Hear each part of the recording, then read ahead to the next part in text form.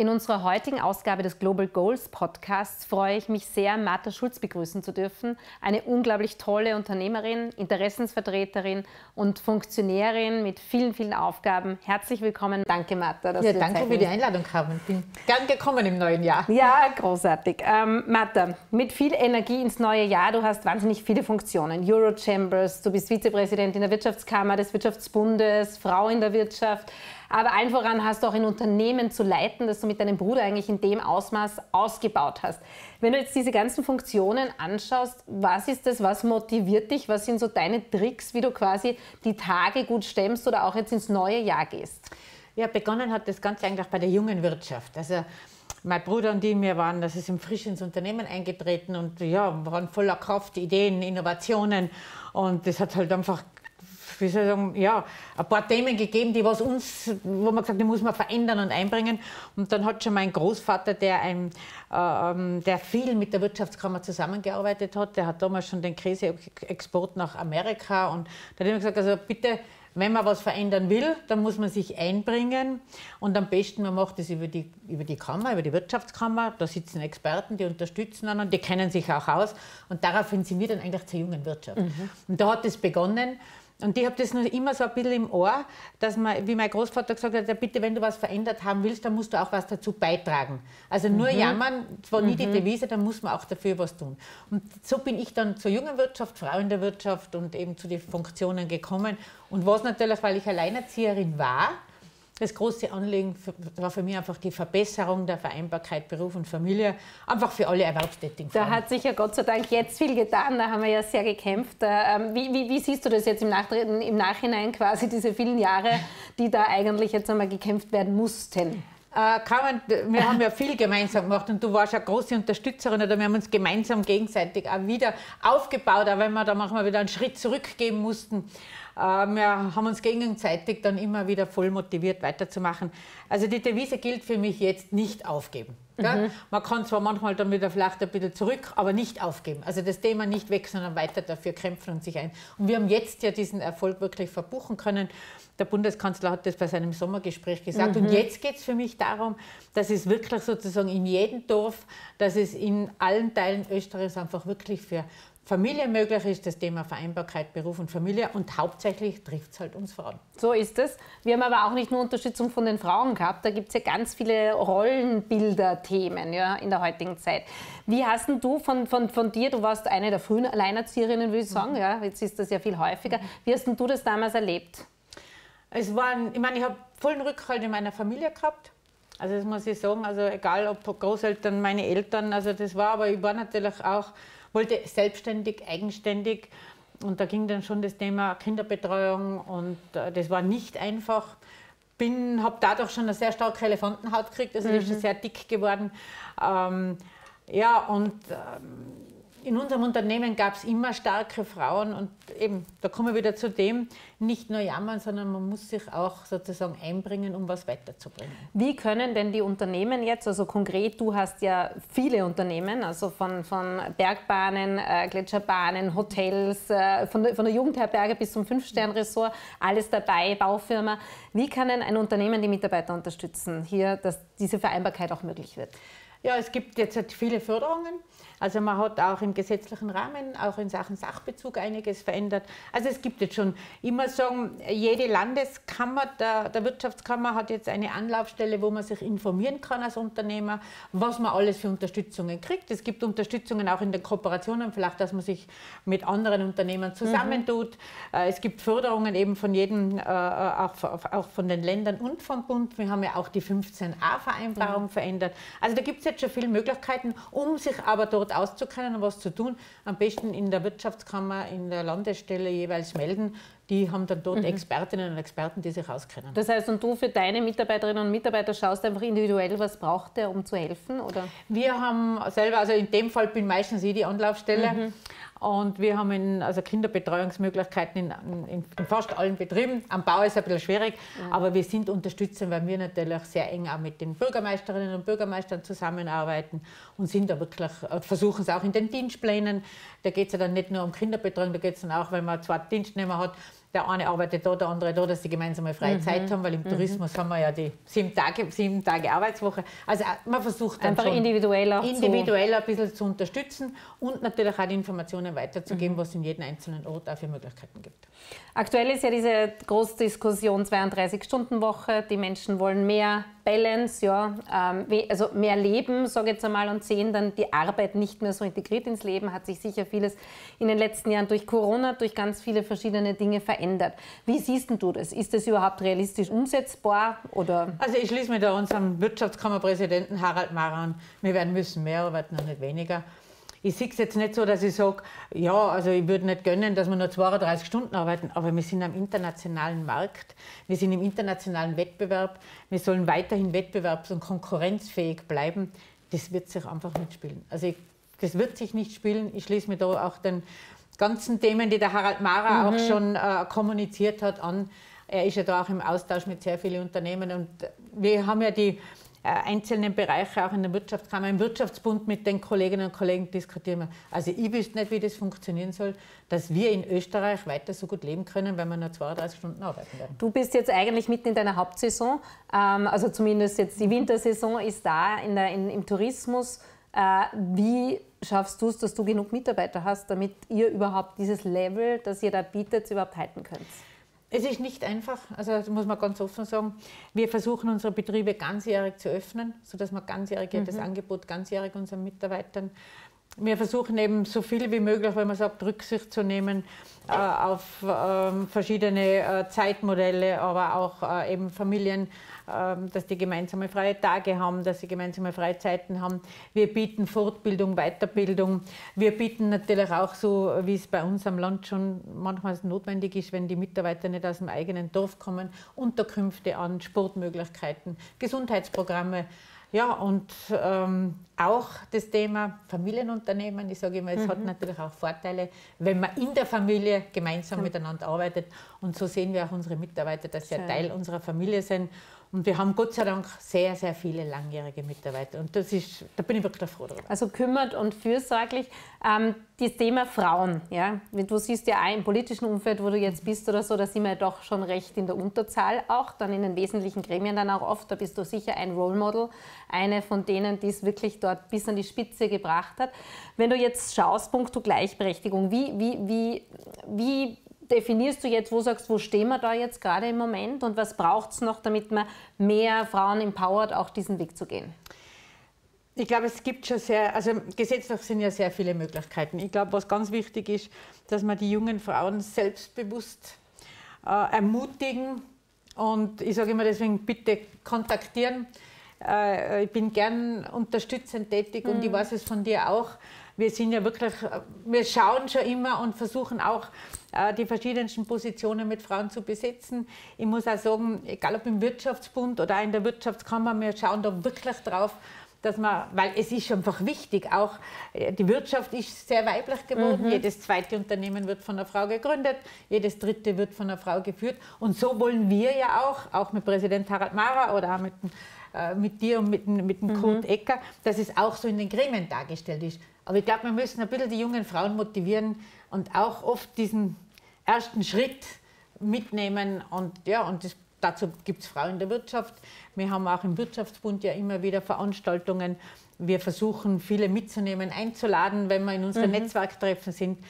Und man muss natürlich jetzt auch schon ein bisschen auch bei den Medien schauen, dass man auch das so darstellt, weil ich sehe halt immer noch oft dargestellt, wenn wir einen Tischler haben, dass ein männlicher Tischler ist mhm. und eigentlich mir dann das weibliche Pendant dazu fehlt. Ich glaube, da haben wir noch einiges zu tun. Auch unser öffentlich-rechtlicher TV-Sender muss sich da, glaube ich, auch manchmal noch ein bisschen äh, mehr fokussieren darauf, dass wir mehr Frauen in diesen Funktionen haben und dass es auch interessant gemacht wird, dass man sieht, dass es spannend ist, sich einzubringen, äh, dass man mitgestalten kann. Ich glaube, das ist eigentlich in der DNA der Frauen. Also, mhm.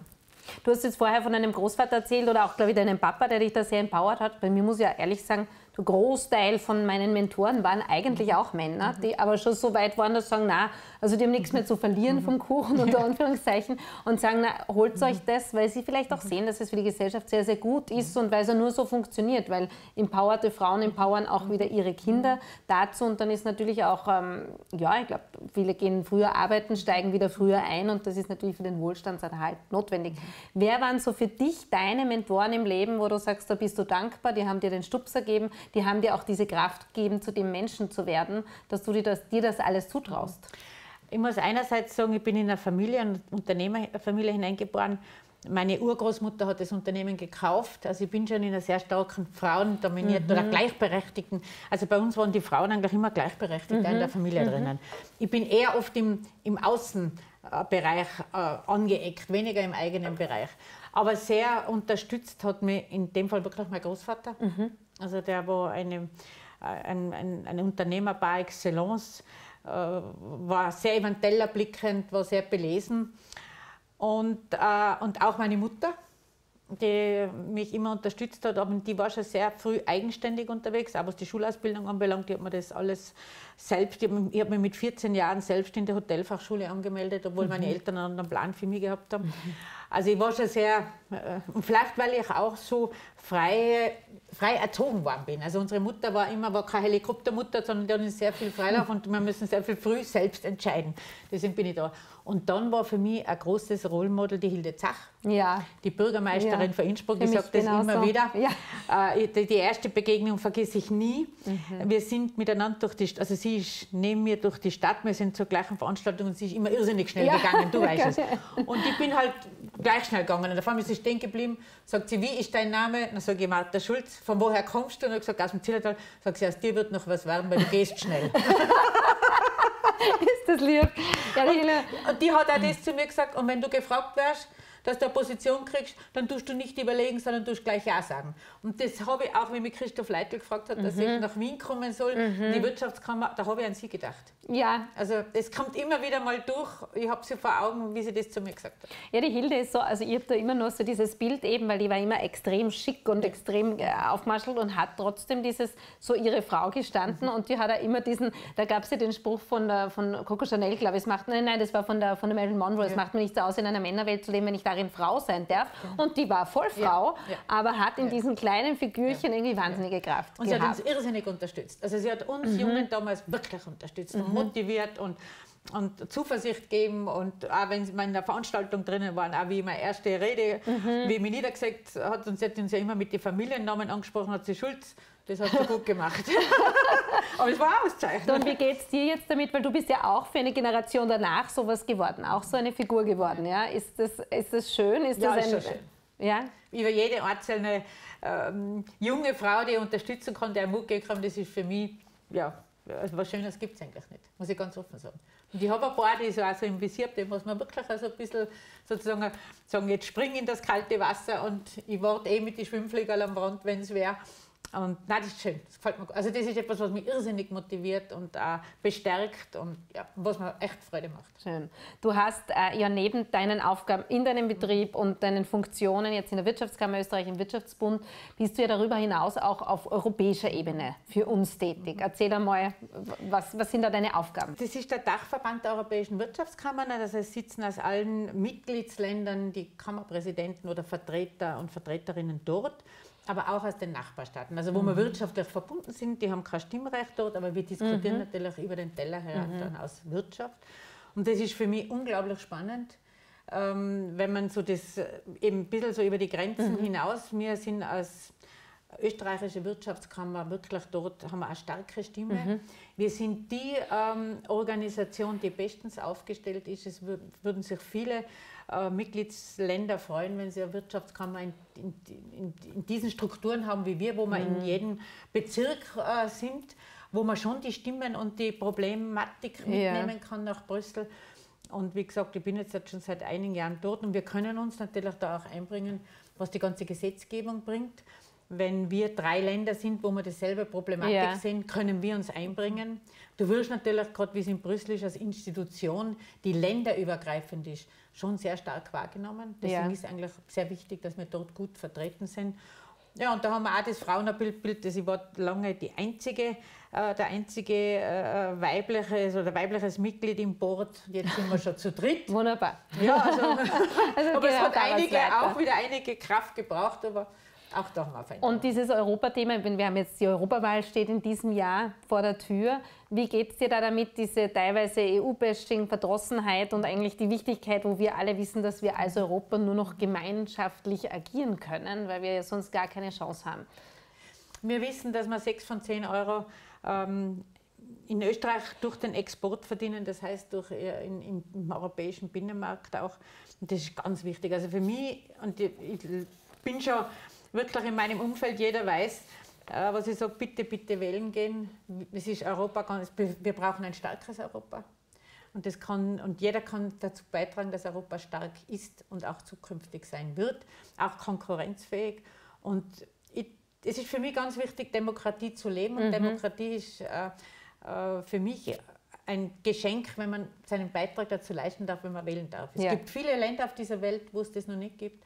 Und wenn ich das wahrnehmen darf, dann ist das mein Beitrag zur Demokratie, um das gemeinsam auch im Frieden weiterhin zu leben. Und das ist ganz immens wichtig. Also ich laufe ich lauf jetzt schon überall, jeder, der mich kennt, ist der zweite oder dritte Satz, wo ich sage, bitte, wir müssen alle und auch im Umfeld schauen, mhm. dass jeder zur Europawahl wählen geht, weil das ganz, ganz wichtig ist für unseren Wohlstand, den wir mhm. haben, für unseren Frieden, den wir in Europa haben. Und jeder kann seine Stimme abgeben. Und das ist ganz wichtig. Äh, in Österreich geht es uns ja, wie wir jetzt gehört haben, über Eurostat besser, als wir glauben. Also die, die Forschung hat herausgefunden, wir sind das glücklichste Land Europas. Ja, die Österreicher sind eigentlich sehr zufrieden und glücklich, was man, wenn man natürlich die Medien konsumiert, so gar nicht wahrnimmt. Da hat man das Gefühl, es liegt alles im Argen. Jetzt hast du sehr viele Gäste, internationale Gäste, also Gäste aus Europa natürlich äh, vorwiegend. Ähm, wie wird denn da Österreich gesehen? Was hast du das Gefühl? Was ist da für ein Bild von uns?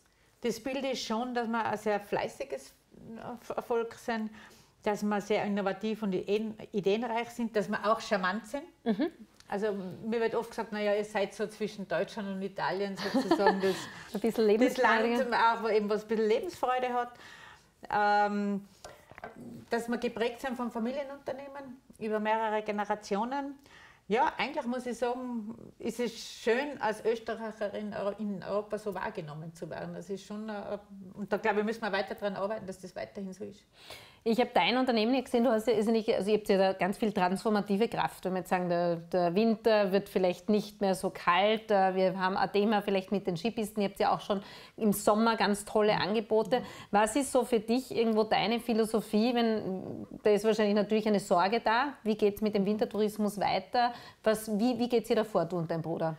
Dass wir sicherlich alle mit dem Klimawandel zu tun haben, ich glaube, das, das äh, muss jeder äh, für seinen Bereich wahrnehmen und, und, und, und, und auch innovativ denken.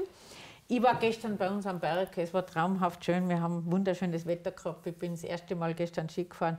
Ja, also es wird schon noch Winter geben. ja. Aber man muss auch eines sagen, es gibt an und für sich eine Veränderung in dem Verhalten der Gäste. Das ist auch eine Transformation einerseits, dass man sagt, unsere Anlagen sind so gut und so stark, dass man nicht mehr von 9 to 5 Skifahrt, mhm. sondern man fährt in der Früh rauf, geht ein bisschen Skifahren, dann geht man in der Sonnenlounge, dann geht man vielleicht am Berg langlaufen oder man geht rodeln oder macht eine Schneeschuhwanderung, kann einmal auf den Klettersteig mhm. raufgehen. Also das Angebot Berg hat sich einfach erweitert. Mhm. Und das nehmen unsere Gäste schon wahr. Mhm. und kommen halt dann am Abend aus der Natur zurück, sind glücklich, haben einen Haufen Sauerstoff, haben die Sonne, haben eben die Kulinarik. Ich meine, mhm. wir Österreicher sind halt bekannt für unsere Kulinarik und für unsere traumhaft sehr guten äh, regionalen Produkte. Ja, und das versuchen wir halt ganzjährig aufzubauen. Also für uns ist wichtig, eben das Unternehmen ganzjährig zu sehen.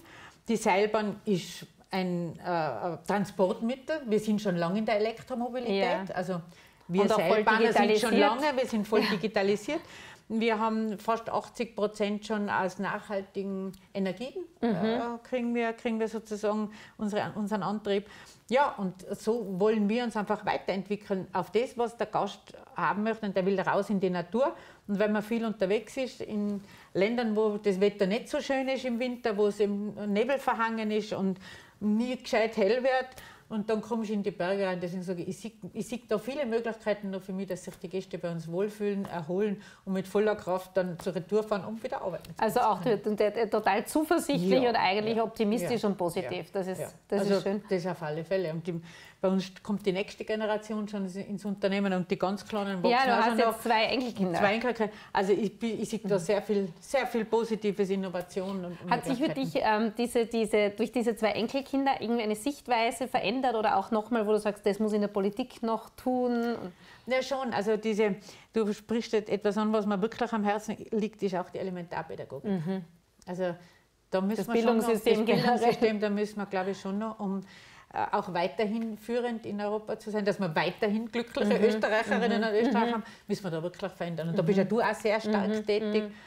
Und ich glaube, da haben wir schon einiges noch zu tun. Wir müssen es bald tun, weil bis sich das in die Systeme ja wirklich verändert, das ist ja fast eine Generation dann. Mhm, und ich glaube schon, dass das einfach auch unsere Kinder verdient haben, dass sie die bestmöglichste Bildung kriegen, aber das schon mit Elementarpädagogik beginnend. Jetzt ist gerade ein bisschen so, jetzt fängt schon ein bisschen das Wahlkampfgetöse an. Also man merkt schon, da wird einiges unruhig. Es liegen ja doch einige Wahlen in diesem Jahr vor uns. Äh, wie würdest du jetzt die aktuell politische Lage einschätzen? Es ist so, es ist schon, also einerseits ähm, geht es uns ja wirklich alle gut. Andererseits wird dann auch wieder das Thema gespielt mit weniger Arbeiten. Und andererseits wollen aber, glaube ich, die Menschen Sicherheit haben. Äh, Sicherheit, äh, also Sicherheit ist ja auch dass man ruhig leben kann, dass man Einkommen hat, dass man weiß, die Energie ist da, die was man braucht. Und ich glaube, um das müssen wir uns kümmern und auch zukünftig ist für mich wichtig und deswegen ich bin jetzt auch da im Wirtschaftsbund. Das ist wirklich, wir sagen, wir werden uns darum kümmern, auch für die Unternehmen, außer dass man diese Möglichkeit unseren Österreicherinnen und Österreichern geben kann, dass man die Arbeitsplätze sichern, aber man muss uns auch innovativ arbeiten lassen können und arbeiten lassen können. Und ich glaube, die Wertehaltung ist wichtiger denn je. Und ich glaube, da sind wir da im Hause am richtigen Platz. Du hast ähm, in, in deinem Leben, also es sind auch viele Dinge passiert. Du hast mir mal erzählt, quasi, dass der, der große Brocken war eigentlich, wo euer Vater mhm. verstorben ist, ohne dass das irgendwo mhm. absehbar war und ihr dann mhm. eigentlich äh, von heute auf morgen übernehmen musstet und es gar nicht einfach war mit Banken verhandeln, mhm. plötzlich da reinwachsen.